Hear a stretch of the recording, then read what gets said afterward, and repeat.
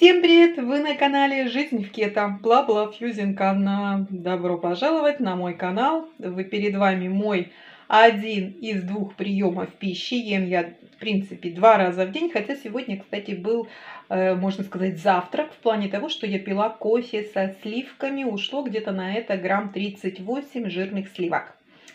Вкусно было, ну, замечательно, короче. Ну, я не скажу, что это принципиально, это, в принципе, редкость. Чаще всего бывает, что на завтрак, так сказать, на завтрак, я съедаю кусочек сливочного масла с тем же самым кофе. Но стараюсь, в принципе, даже и этого не делать э, по той простой причине, что на утром у кетозника вообще полное отсутствие аппетита. Просто сливочное масло по утрам, когда перед, у меня перед глазами, я устоять бывает не могу, потому что я ну просто обожаю вообще хорошее, вкусное сливочное, присливочное масло. Просто, и вот реально, вот, ну не, невероятно, как я его люблю. Наверное, больше, чем, наверное, даже квашеную капусту в смысле вообще капусту. Хотя я кап... да блин, да я любую капусту люблю, блин. Я вообще люблю все свое кето. Вот все, что я делаю на кето, я все обожаю. И сегодня, кстати, кстати, сегодня вот здесь вот перед вами в этой самой тысяче килокалорий идеальные получились пропорции, то есть прям по, так сказать, по математике, по арифметике в плане того, что сегодня 70, 20, 10. 10 это углеводы, 10% углеводов, потому что вообще-то я уже давно-давно не на строгом кето, если кто еще не понял этого. То есть мое питание это лайтовый вариант кето, и это значит, что я ем до 50 грамм углеводов, но это позволяет мне оставаться в глубоком кетозе, то есть иметь все соответствующие бонусы этого самого состояния. И сегодня прям вот, когда вот красиво так получается, мне прям это особенно радостно. Хотя по этому поводу я ни в коем случае не заморачиваюсь. Просто иногда вот так вот выходит, что получается прям ровненько и красивенько. Так, и сегодня, кстати, посчитано здесь все, то есть в этих самых 70, 20, 10 все посчитано. Ну а что сегодня конкретно? Это квашеная со свеклой капустка. Мне, как старому китознику, опять же, это позволительно что здесь свекла и ну, не заправлена, просто квашеная капуста с чесночком и, и со свеклой. Если что, рецепт у меня есть в ленте телеграм-канала, можете там полистать чуть-чуть вверх и увидите. Э, добро пожаловать, кстати, на мой телеграм-канал. Он полностью одноименный, если что, ссылки есть в описании под видео. Обязательно будут, может не сразу, но будут. Так, что, что еще? Что приготовила сегодня? Вот супы у меня в последнее время стали редкостью, поэтому, ну, просто вот так вот получается.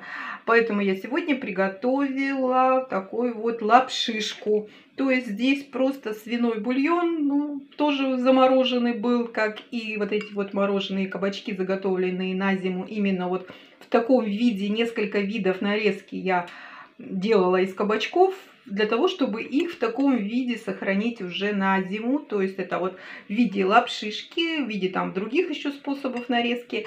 Об этом, кстати, у меня даже целое видео есть о том, как я заготавливала кабачок на зиму. Поэтому, в принципе, вот такой суп готовится ровно за пару минут. То есть готовый размораживается бульон и туда же размороженные э, какие-то вот продукты, в данном случае кабачок. Здесь всего вот эта порция 300 грамм. Кстати, сегодня разбила свою вот эту вот чашечку, которая у меня порционная для супа. Вообще, короче, даже порезалась чуть-чуть. Ну, в смысле, так, царапинка, короче.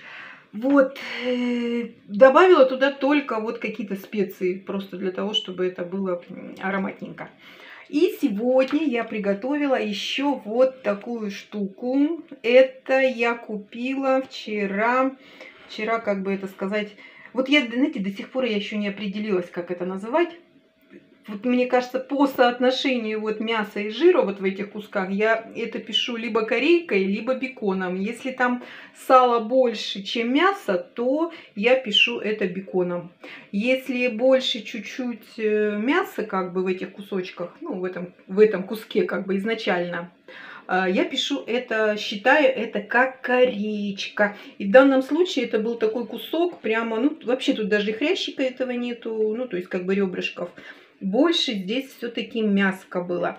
И я его приготовила очень просто по, своему же, по своей же технологии в мультиварке.